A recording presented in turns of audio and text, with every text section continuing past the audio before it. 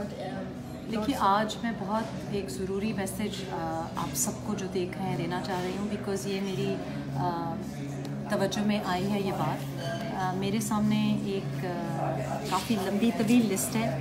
दो सौ बहत्तर two hundred seventy two missing people और हमने मिसिंग पर्सनस की बात, बलोच मिसिंग पर्सनस की बात आपने देखी होगी। हमने पश्तून तहफ़ मूवमेंट में सुना है कि किस तरीके से ट्राइबल एजेंसीज से और खैबर पख्तनख्वा से जिनका ताल्लुक होता है, उनको उठाया जाता है। लेकिन कुछ सालों से अब ये फोर्स अबडक्टेड सिंधी जो नेशनलिस्ट हैं और ह्यूमन राइट्स एक्टिविस्ट हैं, उनको उठाया जा रहा है।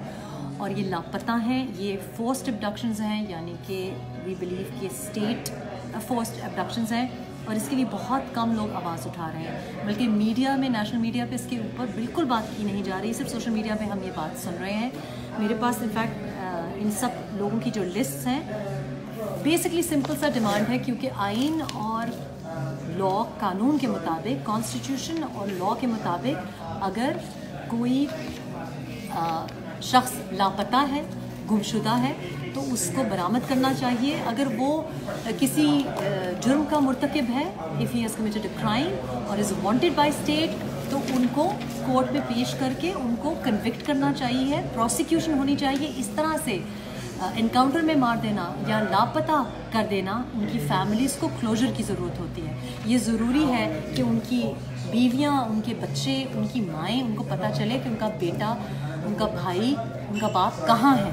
अगर वो नहीं ज़िंदा तो भी क्लोजर मिलना चाहिए फैमिलीज़ को, और अगर वो ज़िंदा हैं तो उनको बरामद करना चाहिए है, और उनको कोर्ट्स में ला के पेश करना चाहिए, ताकि उनके साथ इंसाफ किया जाए। ये कहीं का इंसाफ नहीं है it's a grave human rights violation और इससे पहले कि हम ह्यूमन राइट्स वायलेशंस की बात करें, जो बाकी मुल्कों में हो रही हैं, कश्मीर में हो रही हैं, फ़लस्तीन में हो रही हैं, सबसे पहले हम अपने मुल्क को संवारने की बात करें। बलूचिस्तान में होता रहा है ट्राइबल एजेंसी में होता रहा है, अब सिंध में हो रहा है।